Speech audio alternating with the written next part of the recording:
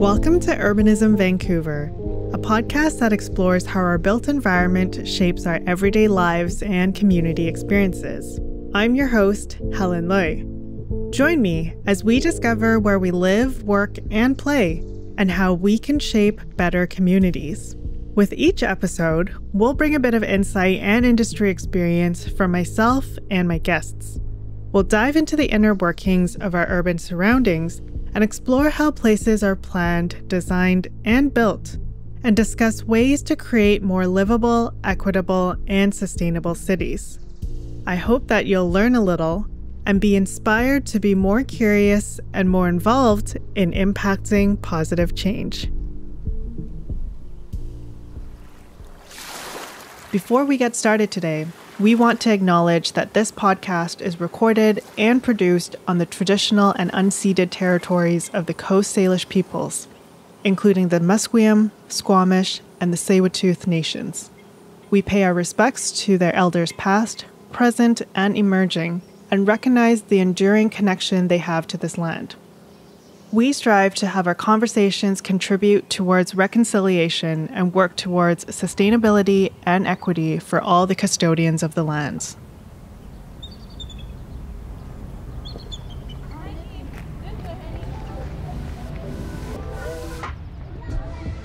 Public places are a huge part of community. They serve a variety of important functions to the well being of our society. So, how do we ensure that they are well designed, safe, but also welcoming for everyone in the neighborhood? Joining us today to talk about designing great public spaces are two guests from the firm DIALOG. First, architect and urban designer Amit Price Patel and Jill Robertson, landscape architect. So, I grew up in a small town in the Midwest in the US, in Missouri. And knew I wanted to be an architect since I was six years old. Uh, I went to architecture school in St. Louis. And while I was there, I really felt like designing buildings wasn't enough. I really needed to understand planning and have an impact in the planning and at a larger scale too. And I love the intersection of economics and history and, and politics that, that planning brings. So after I finished undergraduate, I went to South Africa for a year and worked for an architect there. And through that experience, I learned about the political power of architecture and design, that you're always working for someone and you're trying to create something that's taking up space uh, in a city. I worked on the first apartheid museum there, and it was a really formative experience for me as a young designer with storytelling, telling stories in a really clear, simple way so that a broad audience can understand it and really instilled in me the the power of design, the power of of creating communities.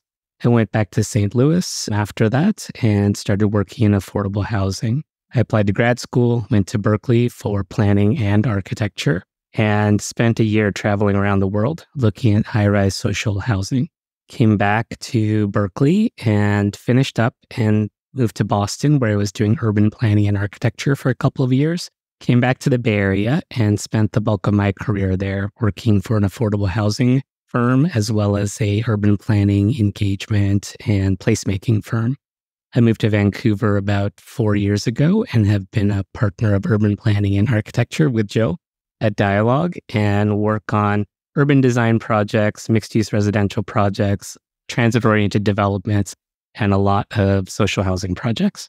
Awesome. So much, like so many varied experiences. Yeah, I shouldn't have had you go first. Now I'm like, oh, the bar is set really high. So I have known I wanted to be a landscape architect since I was 12 years old. So already behind the ball for my esteemed colleague. But part of what drew me to landscape architecture is that it sits at the intersection of science and art. And I really love that. When I went to university, in landscape architecture at the University of Guelph, I found it really affirming the ability to shape community and shape environment really around people. And since I graduated, I've been able to practice all across Canada. I've lived all across Canada and landed at DIALOG about 10 years ago. And what I love about DIALOG is we really see design as having the power to give voice to people. And part of the reason I'm at DIALOG is it's aligned with our purpose. And I think that it's really important as designers, we have a social responsibility to help make the communities and the environment that we design in better. And I love that I get to help be a little part of that process every day. I work across scale, so from doing very detailed technical landscape architecture all the way up to working on official community plans, but always with a focus on amplifying community voices and bringing people into the process and helping them shape and guide the evolution of, of spaces that are going to make their lives better. I think maybe just to set the tone, it would be really good to hear from each of you how you define community. Like, what are the bits and pieces that make community for you? I think for me, community is the people that you build your life with. And so to me, that means community can transcend temporal and spatial scales. Community can be the three people that I share my house with. It can be the people that live on my street. It's the people that I practice design with, but it's also the people that live in my city and live in my province and live in my country. So to me, I take a really broad definition of community. And when I'm working on a project, community is the people that want to be part of the process or deserve to be part of the process and need to be invited into that process. People that have agency in the outcome of that, of any given design process. But I, I take a really broad definition of community. And for me, it's very much echoing what Jill said. I think of it in terms of scales of community from a social perspective and scales of community from a physical perspective. With the social aspect, it's really about those relational ties. What do you care about that someone else cares about? What do you share as a life experience that someone else cares about? Are you working together to make something happen? Then there are the physical aspects of community, and that's at the building, the block, your street, your neighborhood, your city all of those can be defined as community. And you can participate in different ways in building your community. Earlier, you had said one of the things that stuck with you with what you do is that you're always kind of working for someone like hired on as a consultant. So I'm curious in scoping what community means to you on all of those projects, do you ever find that definition doesn't align with what the owner sees?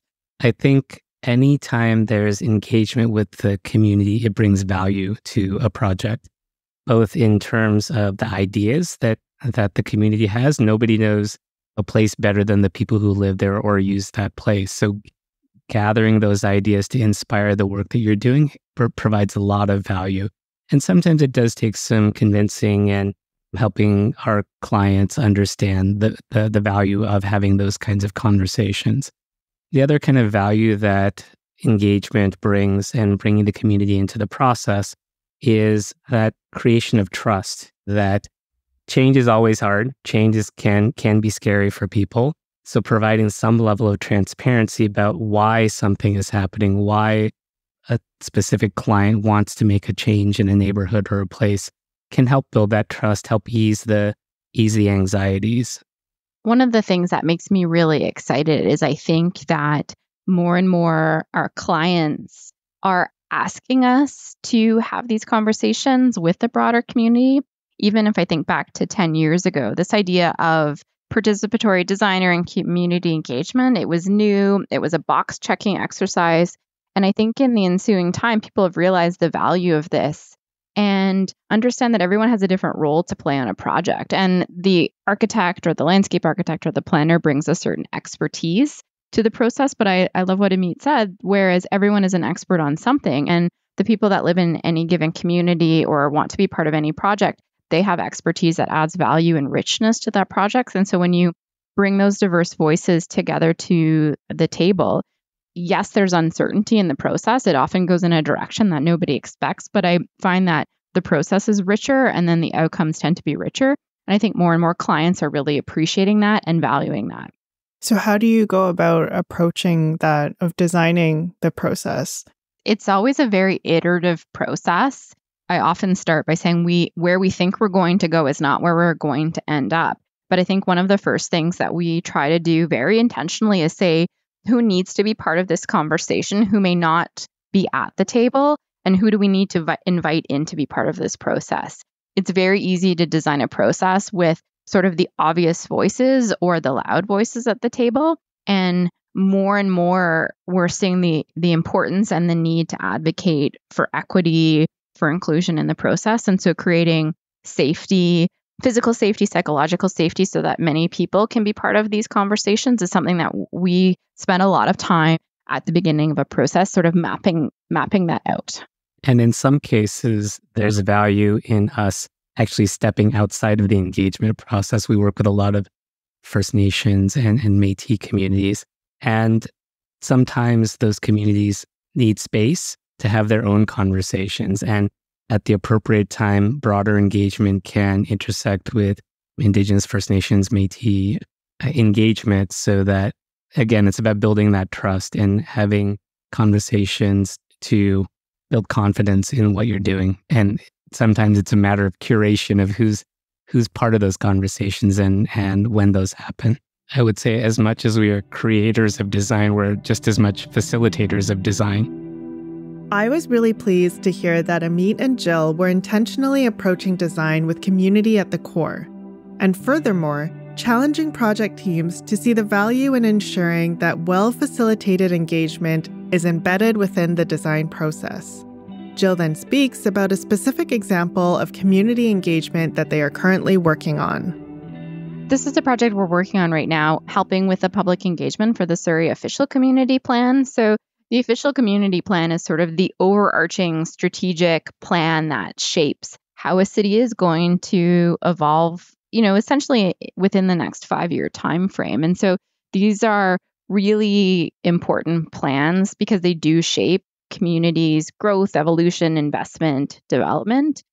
And so we're working with the city of Surrey to make sure that we're bringing diverse voices into that conversation. And what that means is a lot of diversity in tactics and tools and techniques. So, again, I think the traditional paradigm for public engagement was a public meeting that it was held at five o'clock in the local school.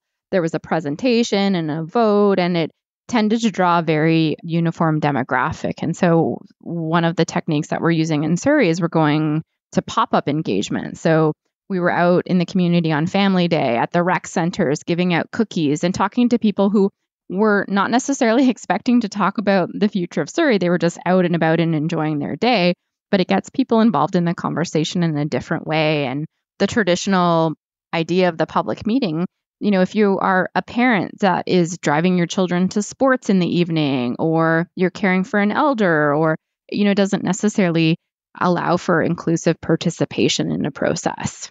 And then some of the other things that we're really mindful of is thinking about multiple languages, multi generational families. So we include virtual engagement, online engagement, again, really trying to broaden the reach so that as many voices as possible can be part of the conversation. And people like to communicate in different ways. Some people understand and like to communicate with text, others like to communicate through drawing, others like precedents to help unlock ideas that they have. I'm trying to tell people that I know, my peers and my family, to engage and th- nobody has time to sit and watch like council meetings or follow no. along and and know what's going on. So going to where people are at is really fantastic. And still there are still so many barriers for people to get involved. Like language is one, creating like trust and safety like you mentioned is another is another thing. So given such a short amount of time where even for like a pop-up how do you how do you create that bit of trust and safety to get people to kind of open up? And when some of the projects might be proposing a lot of change to a neighborhood that people are very accustomed to. I think a good start is to ask open-ended questions and let people reveal whatever they want to reveal. It's not just not about guiding the conversation or saying you know trying to sell an idea. It's trying to get the best ideas to rise to the surface and let people just feel quite open and willing to to just share their ideas. I think the other aspect of it is showing people that they are heard as you are speaking with them. So that might be as simple as writing a post-it down so you, they understand that what they are saying is valued, it's being recorded, it's part of a larger conversation. So I think there's a physical aspect to it, there's a conversation aspect to it, there's the kind of presence that you're bringing as well. That, that you want to go in with a humbleness and humility to these conversations. And it's not about selling an idea, it's about communicating and sharing what, what's happening. Kind of two things I would build on are telling people how their feedback is used, but also telling them how their feedback is not used. I think it's really easy for a process to amplify the ideas that reinforce any sort of preconceptions that the project might have. But I found on particularly challenging projects, letting people know, yes, we heard you, but we didn't use that idea, but this is why. That builds support for the process. So I've worked in communities where people still hate your project, but they understand it and they support the process. They felt heard, they felt like they had the opportunity to speak their piece. And so they still end up supporting the project because they support the process and they felt that trust. And, and the second piece of that is I think all too often we go into engagement processes with a preconception about what the outcome is going to be.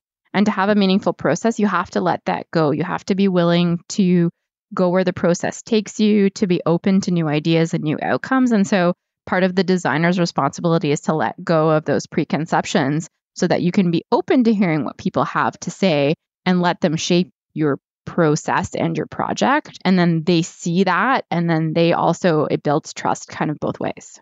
Most people from the public who engage, they maybe get one or two touch points, but unless they're really curious and following along, they may not see the full picture. So, if you could kind of run us through a sample project of kind of the different levels of engagement you did and maybe some things that surprised you in terms of, you know, letting go of the design, the preconceived idea. I'll talk about the one that I was thinking about when I was talking about contentious projects. And it was a pedestrian bridge that was connecting two neighborhoods over a freeway. So generally you would think pedestrian bridge for cycling and walking, people are going to like this. Yeah. No, mm-hmm. people hated this project. The the two neighborhoods that were disconnected by this freeway felt that the other neighborhood was where all the kind of you know bad things were going to happen and they were going to bring them into their neighborhood. It was very much a classic not in my backyard approach. So we started the process and we designed it with sort of three streams of input. We set up a community committee that had stakeholders from the, the homeowners association, from some of the organizations in each neighborhood, and we met with them almost on a monthly basis to give them updates to the project that they could then disseminate to their various groups within the community. And then we had a citywide public process because this was part of a broader bike strategy. So there was messaging that went out at the city scale to let people know that this was happening and how it was going to connect into the bike system. And then there was focus groups for stakeholders so, different interest groups or, or non governmental organizations within the community that had a vested interest. Then we shared all of the information from these kind of three streams back and forth so that if you went to, there was four public meetings in essentially an 18 month period. So if you could go to the, you could only go to one or two of the public meetings. We would spend the time to recap the process to make sure people were following along and they could get caught up. And we would again say, this is what we've heard so far. This is how we're using it. And this is the feedback that we heard that we're not using. And we were really clear with the community what they could engage on. And in this case, it was about improvements to the public realm that might mitigate some of the concerns about the pedestrian bridge. It was about community enhancements to the public space. We never asked people if they wanted a bridge or not because the city was very clear you're getting this bridge. And so we were very clear in communicating that to the community. This isn't a question about whether or not you want a bridge, it's about how can we make the bridge better, improve your quality of life. And I think that helped a lot. And and each meeting we repeated that and repeated that and repeated that. And so again at the end we did have neighbors who said we still don't want this bridge, but we really support this process. And because we had people that were very deeply embedded into the process as part of this community committee, they could be our ambassadors and go out and help spread the information, build trust with the neighbors, communicate key elements so that the people that wanted to just kind of flip in and out of the process at those public meetings had the opportunity to have the information that they needed to make informed commentary. And we did all this actually. This is a project that The public engagement started in February 2020. So Oh went gosh. from imagining a fully in person process to needing to pivot to deal with the pandemic. So, an, an extra layer of complication. Um, Yeah. But I, I run into people from this community all the time, and they still say to me, Well, we don't really like the bridge, but boy, that was a really good process. Well, that's good. I mean, that's the best you can do is like when you've come out of a process that even pe- if people objectively don't agree with the end product, that they respect, you know, the level of effort that was put in to engage with them. And they felt heard. And I think people, at the end of the day, they just want to feel heard. And I, I think most people understand that sometimes decisions are going to be made for other reasons, but at least if they have, you know, they truly feel seen and heard and valued, that helps build that trust. Setting expectations, I think, is really important too. And that's something that I also often see when you're going into a public hearing. It, it almost is like, if it's poorly run, it's like a black box of like, throw all your comments at the wall, right? But it's important to set the context of what it is that we're asking about, how that information will be used. So that's a really great example. An example I can think of is a project in California a couple of years ago that I worked on, where the residents of the community, there's a large landowner who, and there were several hundreds of apartment units there. The landowner found that there were several there there are several deteriorating buildings there, so there there there's a need to make some improvements on the site. And the residents of the community were primarily low income people of color who didn't have a lot of options about where they could move or where they could find housing in the broader region. So, as a way to understand what the community needed and to help build trust, there was a very robust engagement process that we worked on with some specialists who, who knew the communities really well. You know, the starting point was for, for that was really conversations in people's living rooms and basically having one on one conversations. And those grew to dining table conversations. And then from that, there were larger and larger scales of engagement that happened. A landowner was able to make some small improvements in security and lighting and project management that helped build trust with that community. And through the engagement process, we learned that there were no places for kids to play and no place for people to, to get exercise or gather together. And through that, we were able to identify a couple of vacant parcels in the area and turn those into one was called Boom Pop Park, the other was other one was called Bridge Pop Park. And the names were actually invented by some kids on the site there. We made places where people could play, where they could gather, where they could get access to services, whether it's, you know, a food bank or health services. There's a fitness track, a place where kids could learn how to ride bikes. And through that, through those tactical urbanism and, and temporary pop up parks, it helped build the trust and the transparency and the relationships to allow some of that change to happen on the site over time. But it takes a lot of time, it takes a lot of investment to build those kinds of relationships. Yeah, in design and the technical piece, those are the easy parts of our job. It's the communication and the relationship building that really takes time and, and effort. Yeah, for sure. But it's so important. I think particularly impressed that you guys went about talking to people like door to door. That's huge. One of the things Amit said that I really love is engaging with kids. And it's not always possible, but whenever we can, I love to have a workshop or engage kids. I think they have this unbounded creativity that adds richness to the project, including cool names like Pop, Bump, Pop, Cool Park name. um, but but also they they challenge us as adults, I think, on the paradigms that we bring to design. So I love when kids can come and push the design process. And then I also think it just builds good civic awareness for kids. My poor children, I drag them with me all the time to public events. But now that they know that they they should and have a voice in their city and can expect to comment, and I and I think that helps build that next generation of good urbanists. I went to school here and I don't recall anything like that or any exposure to that, right? Throughout elementary school or high school. And just even if they had like a field trip where they go to an engagement thing, how cool would that be to get that kind of exposure as a student? I want to switch gears a little bit. Amit, you talked about having places for people, for kids to play, and that touches upon, you know, this concept of third spaces that came up in a couple of our other episodes. And as we're thinking about our, our social interactions and places for people to play and to just gather and, and enjoy, I'm reflecting back on my own experiences working on the developer side. It's always so hard to carve out space for that because just realistically, that space doesn't make any money. Not that I don't see value in it. It's just like if I'm looking at it from a financial point of view, that doesn't create revenue. But yet, those spaces are so important because otherwise, wherever we're gathering, there's always, you know, there could be a cost to entry, like a coffee shop. You have to buy something in order to to hang out there, right?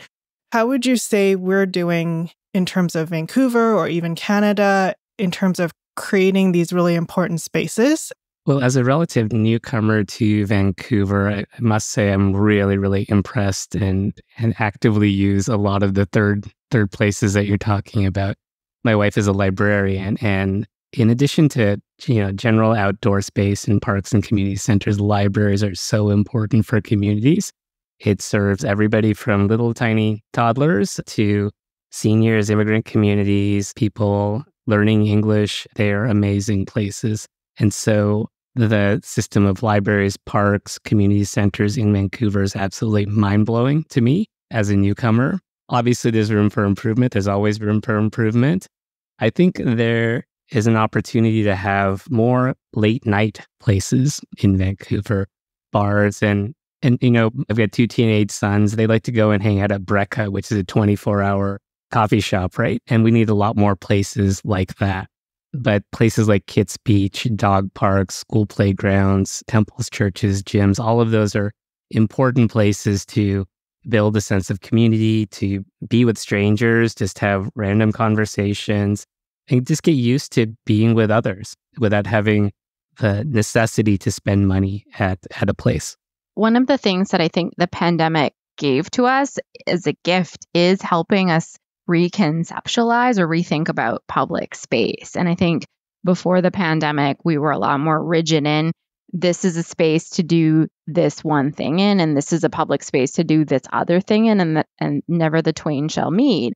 And I think how we started using outdoor spaces in particular when we couldn't gather in our homes you know changed how people saw that and suddenly the street became not just a space for cars, but a space for people and a space where we can dine and we can dine outside, even when it's raining, maybe if if we're covered correctly, or even when it's chilly and, and it's really changed, I think, our tolerance eh, for being outside, but also our expectations from it. And I I really hope that as you know the design profession continues to push that to use these spaces in different and unconventional ways because I think that's where that sense of community evolves, that sense of placemaking, and some of that spontaneous sort of social joy that brings us so much delight as humans.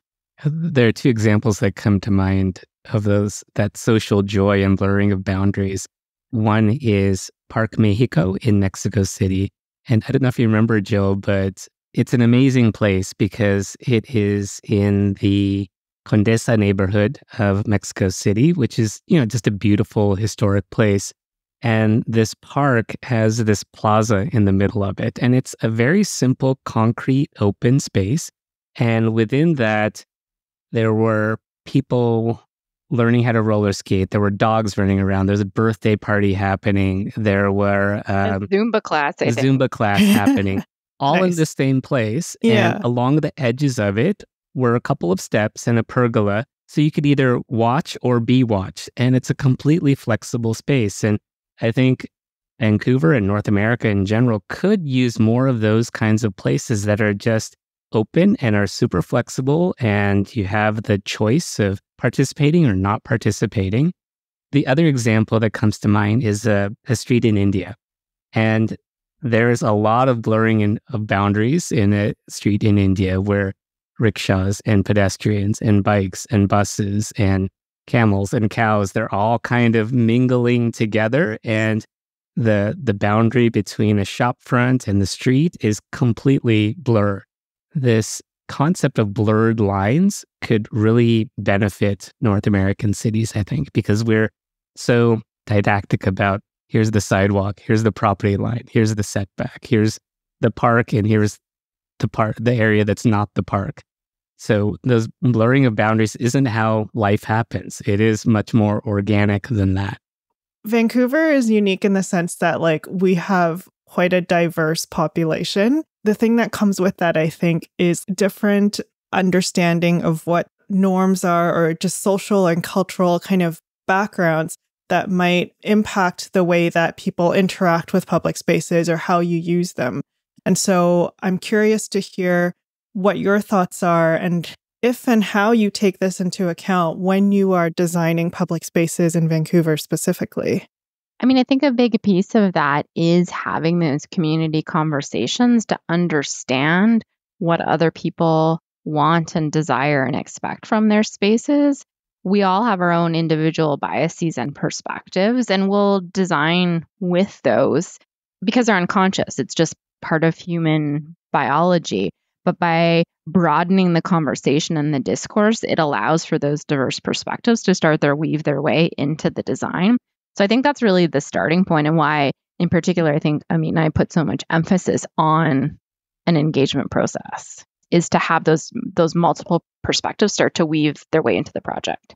Yeah, and I would say with uh, you know Vancouver is very diverse, but it's becoming more diverse, and, and there are many demographic changes happening here. So I think that there's an opportunity to have richer public spaces that make a broad range of people and cultures and religion and and all the diversity of Vancouver feel welcome. And I don't think we should default to standards of how we design public spaces, you know, that this many people need a baseball diamond that's this size or whatever else.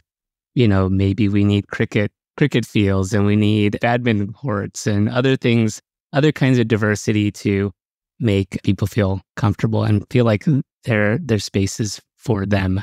And one of the things you asked us at the beginning, Helen, and then we totally sidetracked you, is, is about placemaking. Yeah. And and so I'd, I'd originally actually looked up what the definition of placemaking is based on Project for Public Spaces, who are sort of the gurus of placemaking. And so they say it's a multifaceted approach to the planning, design, and management of public spaces. I was fortunate enough to do a week long workshop with PPS about seven years ago. And the big takeaway I got from them, besides sort of some of the, the tactics of placemaking, is it it's ultimately about the context and it's about understanding the community that you are designing for. And that's how you can take information like guidelines and then tweak them so that they reflect the specific context. And so to me, it means that Park A can only exist in the community that exists. If you were to take it and move it somewhere else, it would have to be completely different because the community that that it sits in is completely different. And so when I'm thinking about a design process or, or outcome, it ha- it's has to be so unique to the people that we're designing for that it would look entirely different if it was elsewhere.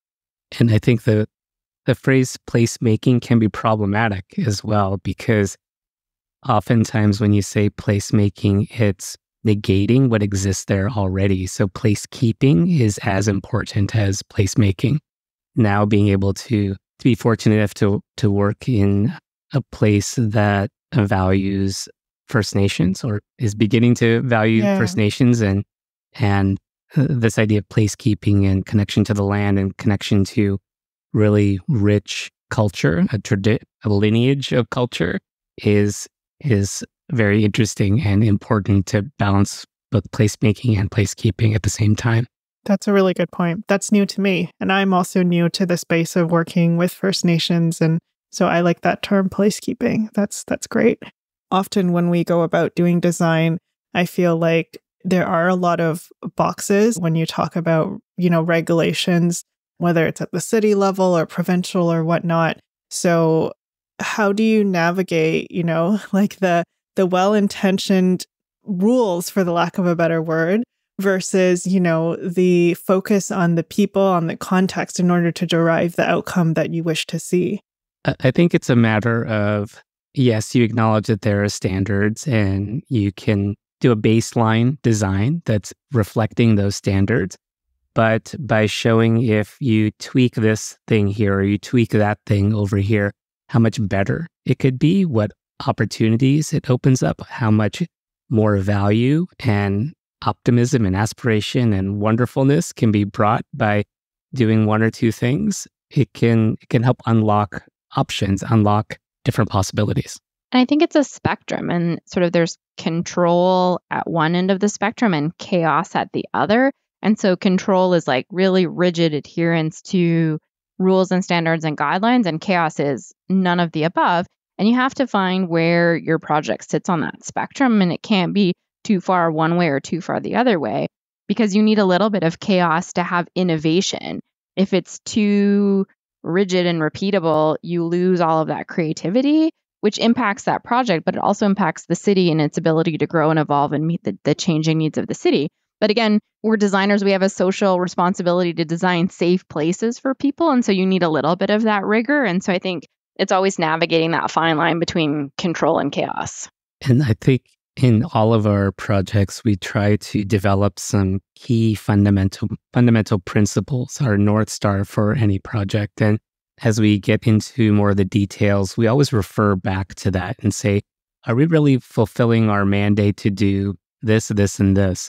And if we're not, then maybe these standards need to be revisited. Maybe we need to think about it in a totally different way to to fulfill those original principles. Mm, that's a really good values driven and people focused, I think, approach. And then just linking that back with, you know, how your team really focuses on trying to involve voices that aren't always heard.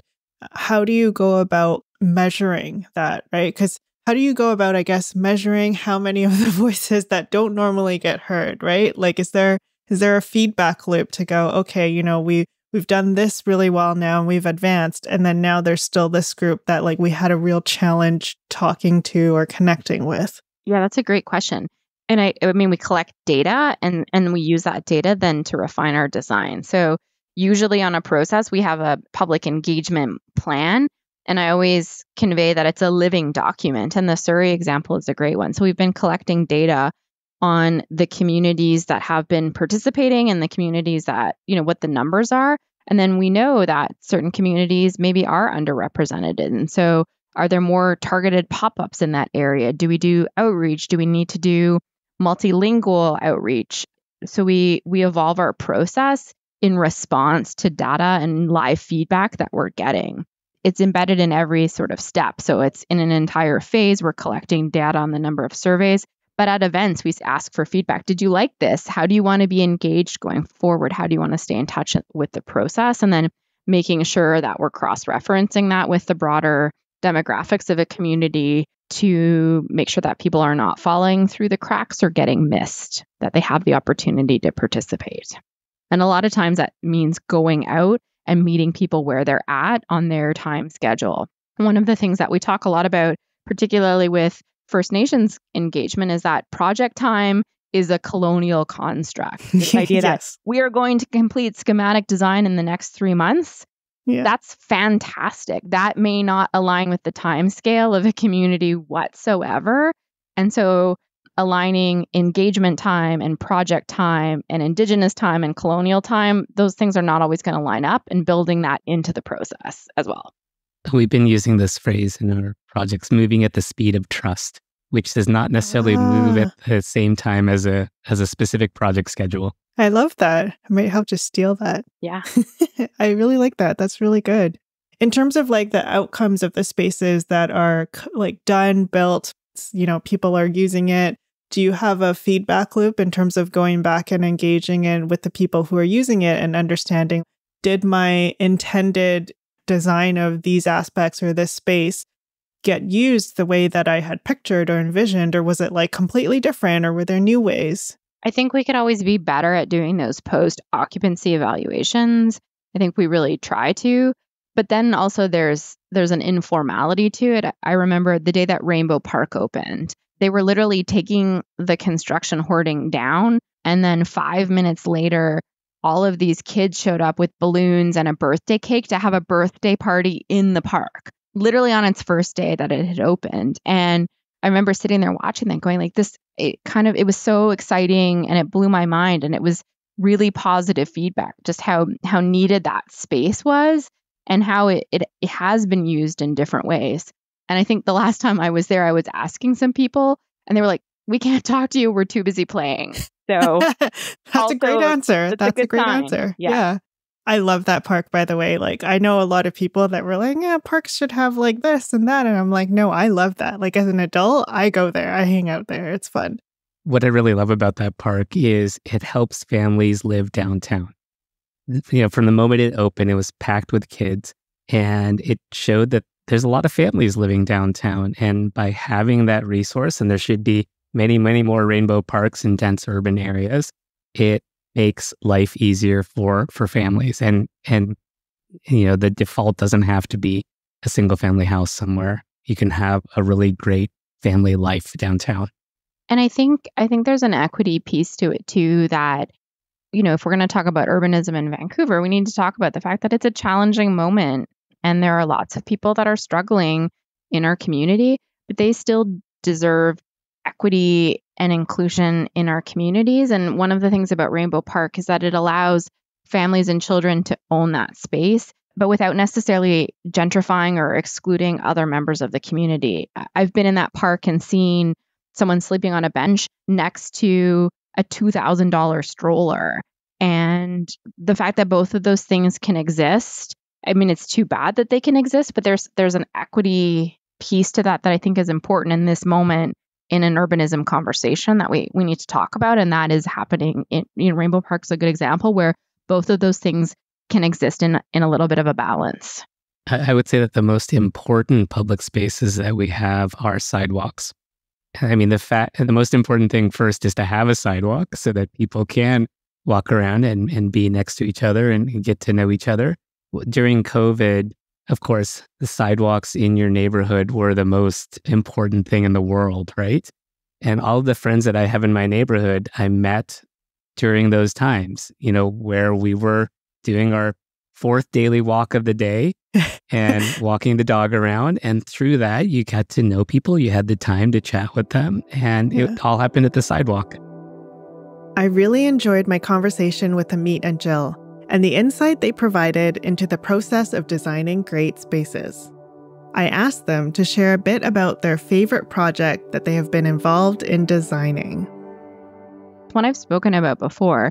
It's a park in Edmonton called Kinistinaw Park. And Kinistinaw is a Cree word that means we three.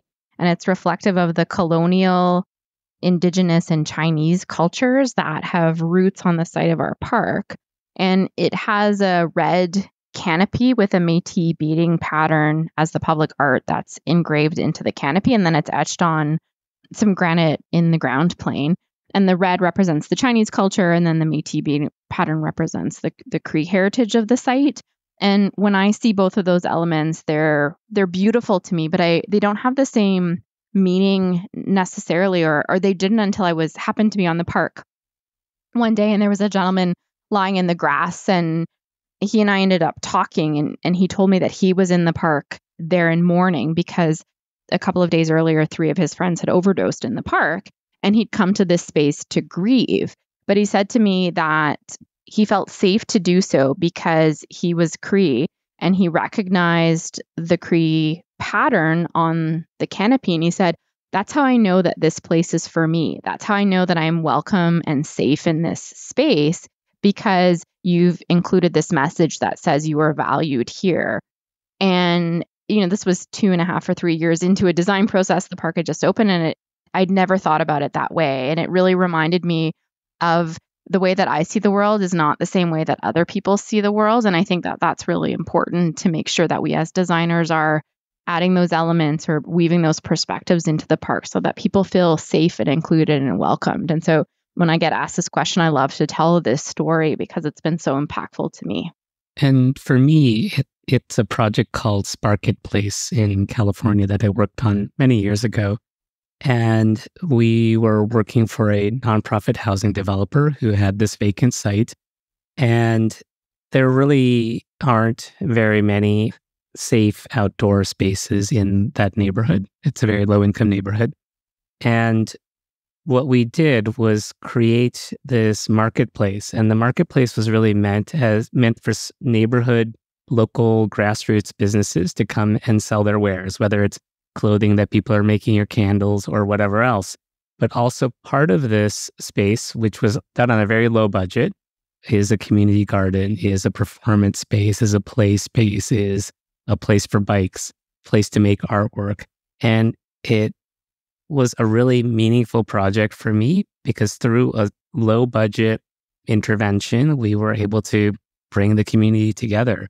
And I'm, I'm very proud of that project. That's really nice. Thank you. Thank you both for sharing. Thank you so much for, you know, taking time to chat with me and sharing some of your experience and, you know, insights on the planning and designing side. I think that I know some of it, but I also learned a lot and I love what you guys are doing with the engagement. I hope that more projects will be more thoughtful about the way that they think about community. And I, I also think that it would really be great if more of the general public was kind of interested and curious and more involved in some of those discussions. Well, thank you so much for having us. And certainly, if you're listening, I would encourage you to go out to the public engagement events in your neighborhood because your voice is important in shaping your city. Thank you, Helen. And, and to anyone listening, I would say go and use your public spaces and invest in them, love them, and uh, support them.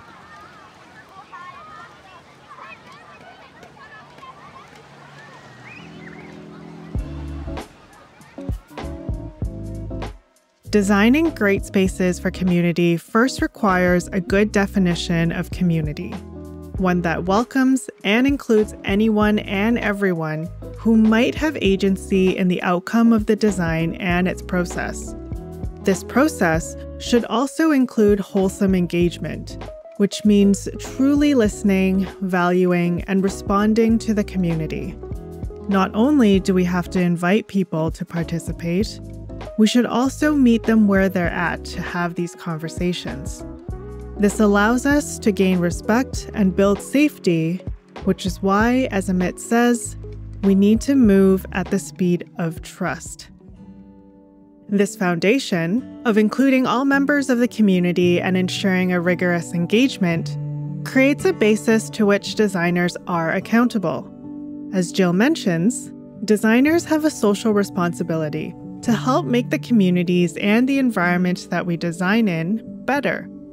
That means being aware of their own biases and perspectives and allowing space to have the process go differently than they might have envisioned. And most importantly, it includes acknowledging the Indigenous nations and histories who have existed long before many of us in Canada, because place keeping must also be part of the design process. I hope my conversation with Amit and Jill have inspired you to see and value our public spaces a bit differently, and perhaps to consider taking the time to engage with spaces that are currently being shaped and transformed. Good public spaces only happen if they serve all members of the community, and that includes you. You've been listening to Urbanism Vancouver the podcast dedicated to bettering our built environment. Be sure to follow us on your listening platform of choice so you don't miss our future releases. I'm Helen Lui. Thanks for listening. This podcast series was independently funded and produced by myself and Aaron Johnson. Visit us at urbanismvancouver.com.